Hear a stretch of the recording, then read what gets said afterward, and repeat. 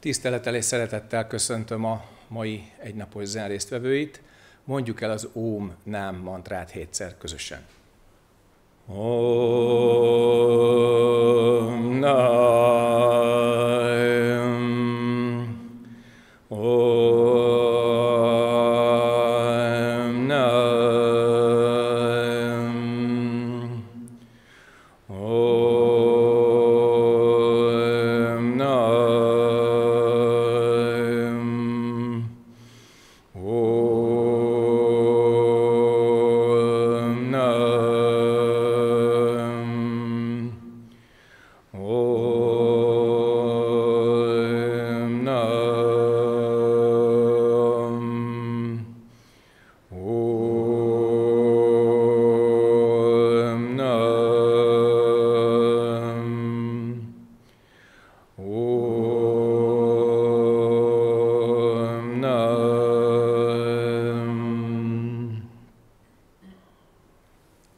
Köszönöm szépen.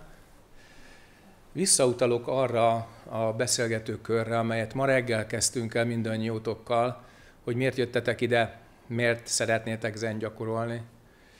És az elmúlt, azt mondom, 6-8 óra, szerintem már sokkal beljebb vitt a tapasztalat ösvényén, mint akár 6-8 napnyi vagy heti olvasás, gondolkodás és a többi. Van egy ilyen mondás, hogy a nagy útnak nincs kapuja. Ez ugyanazt jelenti, mint a másik mondat, hogy ha át akarsz jutni ezen a kapun, ne engedj a gondolatnak. Az az érdekes, hogy a lényegi tapasztalás az pontosan annyiba kerül, amennyi illúziót tartasz fönt. Amennyire azonosulsz a gondolataiddal, az érzelmeiddel és az összes többi karmáddal, pontosan olyan nehéz ezen a kapun az átjutás. Nincs tehát egy kijelölt kapu a nagy úton, amelyen, hogyha te átmész, akkor úgy neked már jó lesz. És az egyetlen egy kapu, amin átmehetsz a lényeg tapasztalatáért, az a nem dualisztikus tudat kapuja. A nem gondolkodás kapuja. Megkérdezheted, mivé válok én a kapu túloldalán? Valószínűleg másképp látod majd a világot, tisztábban látod a világot. És ezek után olyanná építed magad, mint ember, mint társ, mint családtag, mint a társadalom része, amilyenné tényleg érdemes, ahogy méltó emberként élni. Itt nem csak arról van szó, hogy olyan ember leszel, amilyennek szeretnél, ezt a mostani becsléseddel nem biztos, hogy helyesen határozod meg. De a nagy út az nem más, mint a felébredés útja, az átalakulás útja, annak a belátásnak a nyomán, hogy minden, ami a személyiségünkben van, az egy teremtett dolog, és mi magunk teremtjük ezt a személyiséget, minden egyes tulajdonságával együtt. Ezt néha nagyon nehéz belátnunk, főleg akkor, amikor bármilyen viszony vagy szembenállás kényszeres reakciókat vált ki belőlünk. Amikor kimondtad, de Úristen, bár nem mondtad volna. Megtetted, de hát kellett ez. Most lehet feltakarítani utána. És mégis te voltál. Mégis az a karma volt, amit ott hordoztál a szíved mélyén, és a legrosszabb pillanatban, a legborzasztóbban jött elő. Ilyenkor az ember elvonul és bűntudatban él. Az elvonulásra szükség van, de a bűntudatra bizony nem. Miért?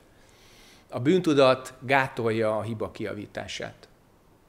A hibával való azonosulás teszi a karmát bűnné, identitássá, és akkor mint bűnös ember élsz.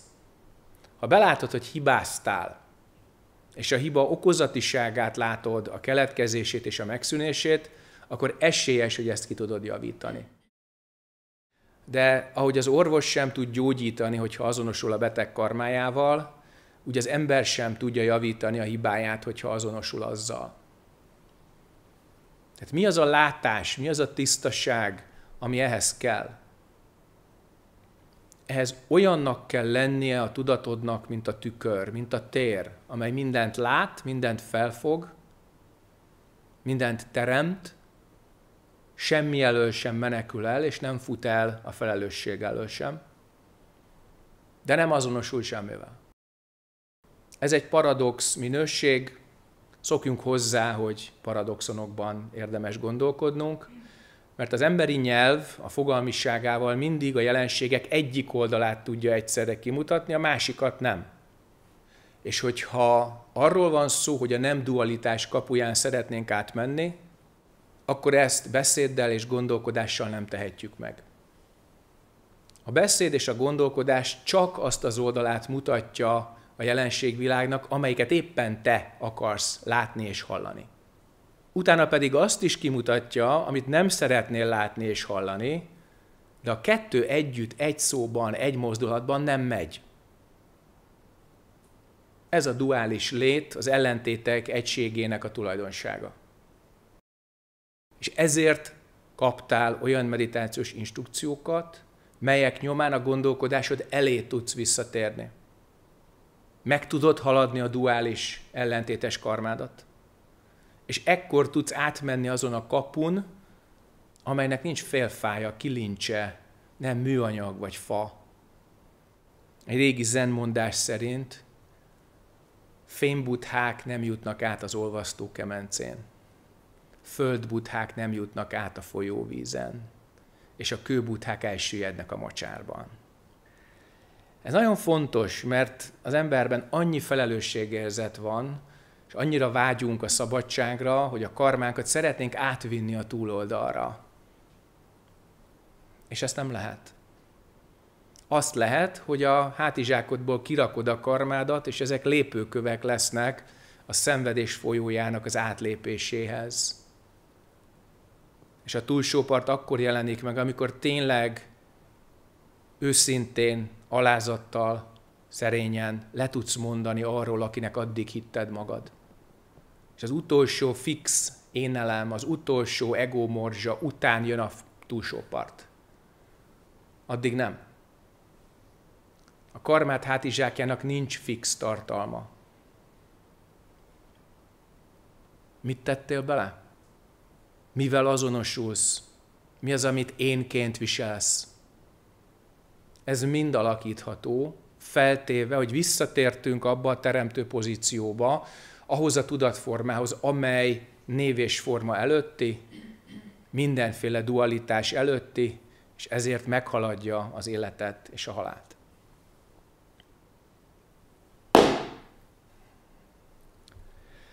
Ha ez a pillanat tiszta, minden tiszta.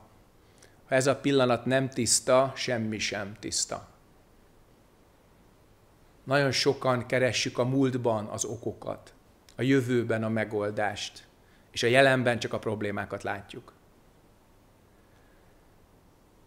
Nagyon sok gyakorlatra van szükség ahhoz, hogy belásd az idő és tér teremtett voltát. Hogy a lineáris és ciklikus időt egyaránt a tudatunk teremti. A háromdimenziós teret is a tudatunk teremti. És ebben a rendszerben működünk. Nagyon sok ismérve van ennek a rendszernek, amit világnak hívunk. Én most hármat emelnék ki. Az egyik, hogy elképesztően mulandóak vagyunk. Ezt a mulandóságot nem lehet visszafordítani. Talán ezért kell az életet komolyan venni, és így a halált is. Mert egyszer ebből a testből elmegyünk, és ahhoz képest, hogy mi van a lélekben, nagyon kevés időt vagyunk ebben a testben. A második pedig a jelenségek eredeti tulajdonságtól mentes volta. Ezt hétköznapi terminussal tökéletlenségnek szoktuk hívni, de az, hogy a tulajdonságokat mi adjuk a jelenségeknek, az nagyon hamar kiderül. Van, aki ezt a botot rövidnek látja, van, aki túl hosszúnak, van, aki vastagnak, van, aki vékonynak, de ez mind a te saját nézőpontottól függ, és az elméd teremti ezeket a tulajdonságokat. És hogyha ezt magadra, a saját mikrokozmoszodra vonatkoztatod, akkor ugyanígy nevezed el magadnak jó vagy rossz embernek. Látod, hogy belül milyen tulajdonságaid vannak, és milyenek nincsenek. És a harmadik, az pedig a kölcsönös függés, ami nehezen fogadható el. Annyira szeretnénk individuálisak, szabadon önállóak lenni, hogy nagyon nehezen fogadjuk el, hogy egymástól függünk. Pedig hányszor fordult elő az, hogyha nem tudtad megcsinálni, akkor segítséget kellett kérni. Ha más nem tudta megcsinálni, akkor te adtál segítséget. És ahhoz, hogy felébredjünk a káprázatunkból, ahhoz a létnek ezt a három alapelemét nagyon mélyen érdemes felfogni. Ekkor tudjuk meghaladni azokat a szöges drótszerű kínzó illúziókat, amelyek mindig is akadályt jelentettek az életben, akár egyéni, párkapcsolati, családi vagy társadalmi életről legyen szó. És ehhez át kell lépnünk azon a kapun, amely a nem gondolkodás, a nem dualizálás kapuja, és hogy mi vár a túloldalon? Nem mondom meg. Csak a bevezető végeztével idézek egy zenmestert, aki így szólt. Mielőtt az útra léptem, a hegyek távol, kéken magasodtak, és a folyók lefelé folytak. Amikor az úton jártam, a folyók megszűntek lefelé folyni, és a hegyek nem mindig voltak kékek. Most, hogy az út végére jutottam, a hegyek ismét kékek, és a folyók ismét lefelé folynak. Úgyhogy ez a tanítás nagyon nagyszerű, de van benne egy hiba. Mi ez a hiba? Emlékezz, hogy a megoldás mindig benne van a kérdésben és az azt körülvevő tanításban. Tehát, hogyha a nagy útnak nincs kapuja, akkor annak vége sincs. És ez az a hiba, amit nagyon sokszor a nyugati gyakorló elkövet, hogy azt hiszi, hogy ő beérkezett. Hogy azt hiszi, hogy ezen a kapun ő bizony átlépett, és így benne van a tutiban, a kis titkos nirvánában, a lila örömökkel áthatott mindennapok kicsi fiókjában, és, és így már most már így minden rendben van. Ez nincs így. Nem egy újabb kényelmi zónát építesz ki, hanem egy belső szilárdságot, tisztánlátást tapasztalsz, és viszel is tovább. Azért érzed, hogy az útnak kezdete van, mert ráléptél. És hogyha úgy érzed, hogy az útnak vége van, vagy Uramisten beérkeztél, akkor biztos, hogy leléptél róla. Ezért kell vigyázni. Kinek van kérdése? Volt egy albetegségem, amire rájöttem, hogy a joga az, az jó működik, és elkezdtem gyakorolni. És a gyakorlás hatására így el is múltak a tüneteim, teljesen jól voltam, egészen addig, amíg jött egy ö, olyan élmény, hogy megszűntek a, tehát megszűnt ez a folyamatos zsizsgés a fejemben, jobban ráláttam a, a dolgaimra, és ez egyébként segített, hogy a kapcsolataimat rendezzem, viszont abba kellett hagynom a gyakorlást, mert azt vettem észre, hogy a tüneteim, amik régen elmúltak, most hirtelen felerősödtek. És olyan szinten, hogy hogy a fájdalom miatt nem bírtam tovább folytatni, és nem is akartam volna tovább folytatni. Próbálkoztam utána sima légzőgyakorlattal, mantrával, ugyanez volt az eredmény. Most is egy kicsit félve jöttem ide, hogy mire számíthatok. Azt érzem, hogy lenyugszom, a gondolataim így, így elcsendesednek, és ez jó, és valami félrecsúszik és nem tudom, Mit hogy gyakorolsz mi? ilyenkor? Nagyon fontos. Milyenkor? Mit csinálsz mentálisan, miközben ez a félrecsúszás van? Mert úgy tűnik, hogy két szék közül esül le a pad alá. Igen. És nagyon messze van még a padló. Tehát amikor jogázol, száz százalékig csak jogáz, és kell egy jogatanár, nagyon fontos, és egy joga közösség, illetve a jogának a darmája, ami elsőrangú. Ha pedig zen gyakorolsz, akkor száz százalékig gyakorolj zent, és ott is kell a tanító, tanítás, tanítványi közösség. De az, hogy csak úgy gyakorlok valamit, amiről nem tudom, hogy micsoda, az nem jó.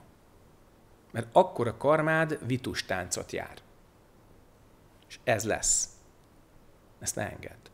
Nem saját indítatásból, de voltam egy ilyen buddhista rendezvényen, És, Az hogy lehet, hogy nem saját indítatásban? Hát, Valaki úgy, rávett, oda, igen, oda hurcolt? Igen. igen. Nagyon rosszul kezdődik. Igen. és ez a Káposztás megyeri jégcsarnokban volt, nagyon sokan voltak, és a végén volt ez az ilyen közös om, nem mantra éneklés, vagy, és az a fura dolog történt velem, hogy ugye én is próbáltam ugyanúgy mondani, mint a többiek. Hirtelen annyira tisztán láttam, annyira tiszta lett minden, és tehát nem volt kérdés, hogy, hogy ez mi volt. Igen, és most mégis van? Hát ez, ez, ezt nem tudom, hogy ez mi volt ez az állapot, amit akkor megtapasztaltam. Hogyha jól hallottam, te részt vettél egy olyan eseményen, amely a Káposztás megyeri jégcsarnokban volt. Így van? Így van. Itt mondtál egy mantrát többed magaddal, amely egy fantasztikus tudatállapotot eredményezett, amelyről nem tudod, hogy micsoda. Igen. Na most mi a kérdésed ez ügyben? Mi volt ez a tudatállapot? Meg kell kérdezni a rendezőket. Ők rendezték az eseményt a Káposztás megyeri jégcsarnokban, és adták neked azt a gyakorlatot, amelynek nyomán beállt az az állapot, amely még részben ma is fogva tart téged. Úgyhogy azoknak a tanítását, akik ezt az állapotot előidézték benned, bizony tőlük kell számon kérni. Ez nem jó és nem rossz. De egy biztos, én nem voltam ott azon a napon a Káposztás megyeri jégcsarnokban. Azt szeretném kérdezni, hogy honnan tudom, hogy mi a helyes út? Merre szeretnél menni? A helyes úton előre. Nagyszerű. Hogyan indulsz el? Teszem a lábam egyik után a másikat. Komolyra fordítva, vagy nem Szerintem komolyra, de te hogy... olvastál valami zent, ha ilyet mondasz. Nagyon egyszerű a tan ezen része. Visszamegyünk a klasszikus alaptanításhoz, ami a négy nemes igazság. Hogyha eleget éltél ezen a földön, akkor látod, hogy van a szenvedésnek ténye, oka, megszüntetése, és a megszüntetésnek van egy útja. Ez a negyedik, ez a nemes nyolcrétű ösvény.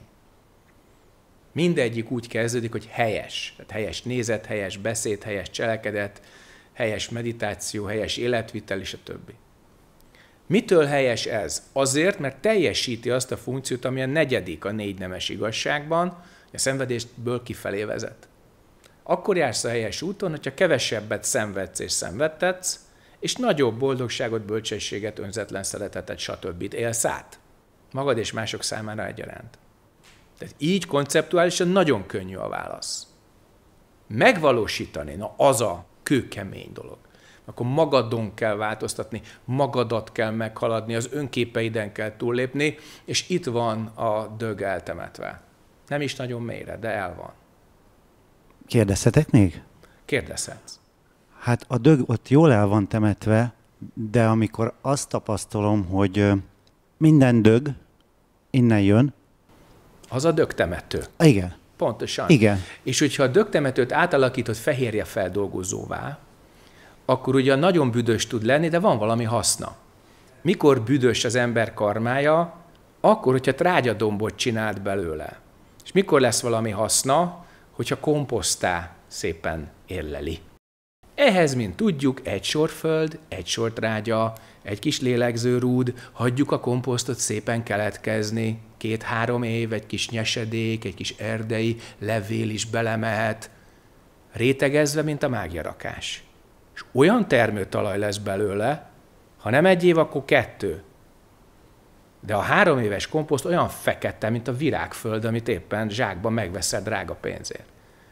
A karma is ilyen. Tehát megfelelő nézet, megfelelő praxis, megfelelő nem azonosulás, ettől tud lélegezni. Érted? És akkor termőtalaj lesz belőle. Magyarul van bölcsesség, virág. El kell dönteni, hogy te ki akarsz jönni a szenvedésből, segíteni akarsz másoknak kijönni a szenvedésből, fel akarsz ébredni, és a többi. Ezeket el kell dönteni, és a helyes irányvételből lesz a helyes út. A helyes elhatározásból lesz a helyes beszéd és cselekedet. Nincs meg előtted így kirakva, kitáblázva. Nagyon sok táblát lehet olvasni, de pillanatok alatt a falnak lehet menni utána. Úgyhogy a helyes út az, ami kivezet a szenvedésből, téged és másokat egyaránt. De ehhez kőkeményen le kell rakni minden eddigi fixa ideát. Minden bekötött nézetet. Köszönöm a lehetőséget én is. Régóta foglalkoztat engem, hogy a magzati korban megélt időszak, jó esetben kilenc hónap, az mennyire választott, sorszerű vagy karmikus, és hogy ez összefüggésben van-e azzal, hogy felnőttként mennyire érzékeny az ember, vagy pedig az idegen emberek, vagy nem ismerős emberekkel szembeni feltétel bizalom hiányával összefügge? Persze, hogy összefügg. A megszületés és meghalás két rövid bardója, azaz köztes állapota a legsérülékenyebb a lélek és a test számára egyaránt. Nem csak a magzati létben eltöltött 9 plusz 1 hónap, hogyha pontosabbak szeretnénk lenni, hanem az azt megelőző 9 hónap is az úgynevezett indító programhoz tartozik. Saját személyes karmát függvénye, tehát korábbi életekben létrehozott karma függvénye, hogy milyen szülőpárhoz születsz újra, milyen társadalomban, milyen anyagi helyzetben, milyen környezetben, és a többi. És ugyanez a korábbi karma befolyásolja, hogy a te magzati korod milyen. Ha egy szenvedélybeteg anyához születsz, akkor a magzati korod szennyezett.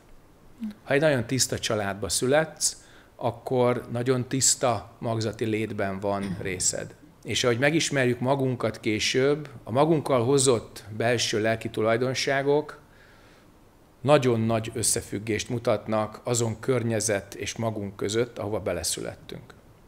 Úgyhogy ha a személyes karmádat szeretnéd jól látni, akkor nem belső elemzésekre és különböző ilyen kognitív műveletekre van szükség, hanem meg kell nézni, hogy miért születtél ahhoz a szülőpárhoz, akikhez, abba a környezetbe, abba a korszakba, ahová és amikor. És a megfelelő gyakorlattal, a megfelelő szellemi szint elérésével ezt a karmát lehet tisztítani, változtatni, adni és venni belőle. Ez nem csak neked fontos, hanem a gyermekeidnek és a hozzátartozóidnak is egyaránt.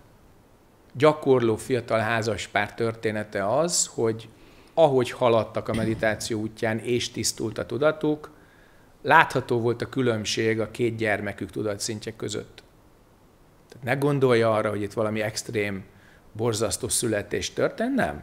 Megszületett az első szülött, a fiú tele volt elképesztő agresszióval, mint egy normális fiú egyébként az ő korosztályában, és eltelik három év, megszületik a kislány, és teljesen más.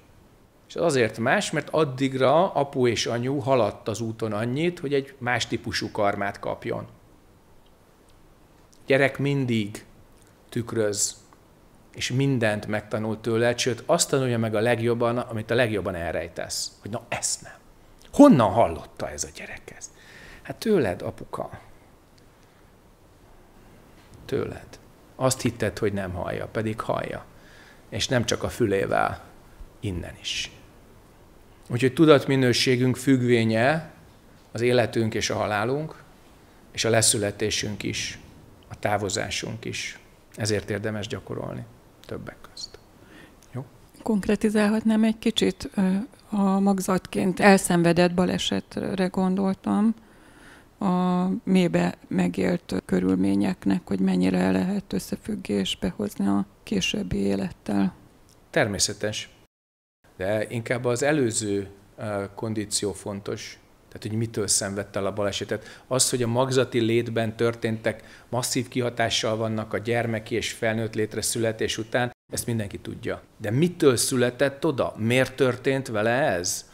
Miért szenvedte el a balesetet? Ez korábbi karma függvénye. Ezt kell látni. És az a hír, az nagyon fontos, hogy ezt a karmát hordozza a lélek. Ez nem múlt el. Ez generálja a további baleseteket. És erre kell rálátni és a mi ez kérdésnek a tárgyas mi volt, ha már az ember eléggé ráébredt, nagyon jó használható erre, megjelenik a karma, belül rákérdezem, mi ez, honnan jön, És hogyha kellően tiszta és szilárd a tudatállapot, akkor a folyamat kirajzolja annak a karmának az eredetét.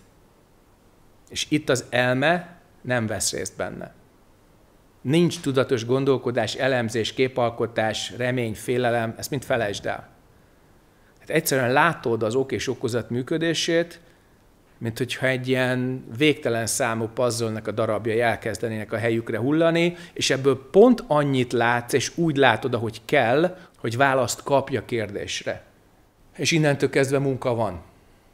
Elég nagy munka. Miért? Mert hogyha ezt magadban nem takarítod fel, ezt tovább fogod adni a következő generációnak. Na, megtörtént. Akkor viszont segíteni kell nekik, hogy ők ne adják tovább, és ennek az az útja, hogy ők vegyék ki magukból azt a karmát, amit ők is hoztak. Jó? Ja, köszönöm. Szívesen. Egyéb kérdés?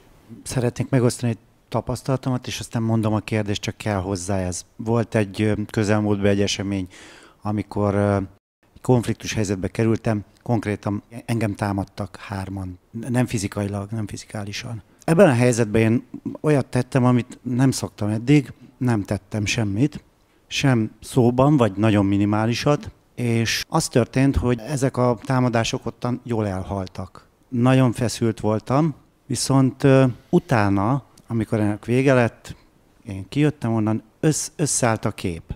Én láttam ezt, hogy láttam az okot, az okozatot, és ez így jó volt. Az, az a kérdésem, hogy milyen módon, vagy milyen gyakorlással, vagy gyakorlattal lehet azt elérni, hogy az adott helyzetbe lássam az okot és okozatot, ne pedig később. Az adott helyzetben az energiával és az információval egyaránt fontos dolgozni. Nem tudsz akkor olyan elemző tanulmányokat folytatni éles helyzetben, hogy jaj, hát ez mitől lehet? Vajon engem ő most miért támad? Butának volt egy ilyen hasonlata, hogyha valakit meglőnek egy nyillal, akkor nem kezded el azt kutatni, hogy most milyen madártollát tették rá, hogy most fából van, vagy műanyagból, vagy fémből, és ha fából, akkor kemény, vagy puha fa, és hogy délről vagy északról lőtték ki, és hogy milyen íjjal. Nem, ki kell húzni sajnos a sebből akármilyen fájdalmas, le kell fertőtleníteni, be kell kötözni, és kész. Ezt boldog békeidőkben belül, hogy te ne kínáljál olyan felületet, ahol az emberek szeretnek téged megtámadni. Viszont ez amennyire az információ, tehát a belső karmikus térképednek a meglátása, olyannyira fontos az energiával dolgozni akkor, amikor éles helyzetben vagy. Hogyan tudod az ellened feszülő energiát akár a magad oldalára állítani, vagy pedig kikerülni úgy a kör középpontjából, hogy azok az energiák egymást oltsák ki. Műhelytitok, ne akar győzni. Csak érd el, hogy ők saját maguk veszítsenek. Ennyi elég ez az ilyen mentális harcoknál, ez kb. úgy szól, hogy itt mindenkinek igaza van. És masszívan harcolunk az igazunkért. És hogyha egy picit sikerül beláttatni azt, hogy nem valakinek igaza van, hanem hogy senki nem látja a teljes igazságot, akkor kezdnek egy picit hűlni az elmék. És akkor ebből az elképesztő szembenállásból lehet egy olyan, hogy lehet, hogy nekem nincs igazam, de neked sincs. És hogy nyugi részigasságunk birtokában nyugodtan ígyunk egy csészet teát. Egyéb kérdés? A szó nem fogja teljesen tükrözni azt az érzést, de bízom benne, hogy így is tudni fogod, hogy mire gondolok. Félek önmagamtól, és ez visszatart attól, hogy mélyebben belemenjek a gyakorlatomba. Mit tegyek?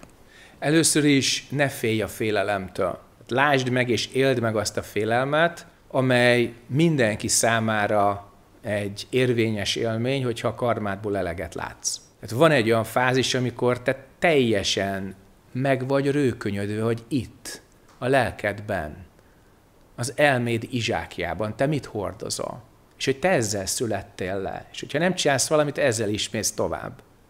Ez teljesen jogos, és ez a gyakorlat egy bizonyos fokát mutatja, hogy te annyit megláttál már magadból, hogy ne legyél ilyen szuper büszke, hogy jaj, mert én, én aztán jobb vagyok, mint a többi. Nagyjából ezt szeretnénk, és kellő őszintesség és belső tapasztalat birtokában tudod, hogy ez nem így van. Én már láttál eleget magadból. És itt megint az a kérdés kell, egy kis mantrapraxis, ugye előtte, utána az fontos, előkészítés per föltakarítás, hogy mi ez. Nagyon nagy különbség van kétféle félelem közt. Az egyik, hogy nem tudod, hogy mitől félsz, a másik, hogy tudod, hogy mitől félsz. Egy világnyi a különbség. Ha tudod, hogy mitől félsz, akkor előbb-utóbb nem félsz tőle, mert megmutatja a tatváját, a saját működésmódját. És amikor ez a működésmód nyilvánvalóvá válik, akkor felsejlik a tágabb környezet, az a törvény, amely szerint minden működik, és ez a darma. Tehát ismerd meg a félelem tatváját, azt a sajátosságot, azt az ízt, az a fémes, borzongató, borzasztóság a fogad között, hogy most én akár el is pusztulhatnék, vagy el is pusztíthatnék más valakit, attól függ, hogy yin vagy yang típusú a félelem. És innentől kezdve a tisztán látás, ez két dolgot eredményez. Nem menekülsz és nem rohansz el, második, nem fagysz le, hanem tisztán látsz. Ez az a kereszt, aminek csak a csúcsa jó, a tisztánlátása jó, a lefagyás nem, a menekülés nem, és a harc sem. Miért? Mert újra termeled. A lefagyással a leglassabban, a harccal kicsit gyorsabban, és a meneküléssel a leggyorsabban. Az az exponenciális növekménye a félelemnek, hogyha menekülsz tőle. Tehát ránézel, megkérdezed, hogy mi ez, honnan jön. És amikor már tudod, hogy mitől félsz, akkor elkezd visszaolvadni a tisztánlátás által a személyiség normális szegmensébe, és nem fog békjóba verni, vagy pánikbetegként ugye kizavarni a világból a saját félelmet. Be kell látnunk, hogy a félelem az az emberi pszichének egy természetes része, és adott határok között szükség is van rá. Egy kicsi kell belőle. Nem sok. Tehát vannak visszatartó erők, amelyeket néha akadályként élünk meg a tudatban. Ha ezek túl nagyok, akkor még több szívszútra éneklés kell, hogy az akadálytól mentes tudatban nincsen félelem. Fordítsd ezt vissza, ha félsz, akkor akadály van a tudatban. Igen, csak néha ezekre szükség van, hogy ne boruljál be az árokba. Az út mellett húzódó szalakkorlátot senki sem akadályként fogja föl, mert mindenki így akar menni az úton szépen előre, és nem jobbra vagy balra az árokba, vagy a másik irányú pályára. Tehát soha ilyet nem hallasz közlekedőktől, hogy az a fránya korlát, hát az akadályozott engem ott a haladásban. Nem, az kijelöli a jobb és a bal oldal szélsőségeit. És néha a kondicionált félelmek pont ezt csinálják. Viszont ha nem ismerjük meg a félelmeket, akkor azok a legrosszabb esetben azonnal keresztbe fordulnak az úton, és hogyha te nekimész a korlátaidnak, és nem csak védenek a szélsőségektől, akkor már óriási probléma van. Képzeld el, hogy egyszer egy M jelű autópályán Magyarországon a szalagkorlát úgy dönt, hogy ő 90 fokkal elfordul és beáll a közlekedők elé. Szép lenne, ugye? Na ez az, amikor a tudott és a tudatlan félelem megmutatja a kettő közti különbséget. Ha tudsz róla, és helyesen használod, akkor abból akarat lesz, ezt akarom, ezt nem akarom. És nem az, hogy merem vagy nem merem. És akkor a szalagkorlát betölti a feladatát az út jobb és bal oldalán.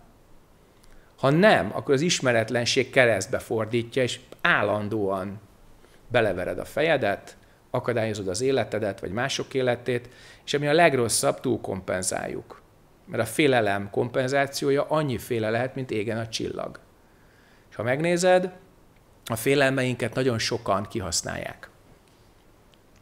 És ez még rosszabb, ez még méltatlanabb, ez még leverőbb tapasztalás, hogy igen, megijedtem, és most hasznot húzott belőle egy, két, há, négy, öt fél. Ember, embercsoport, szervezet és a többi. Ezért kell megismerni a félelem működését, hogy az elfoglalhassa a helyét az emberi pszichéjében, és pont annyit sózon a levesen, amennyit kell, nem többet. Jó? Köszönöm. Szívesen. Egyéb kérdés?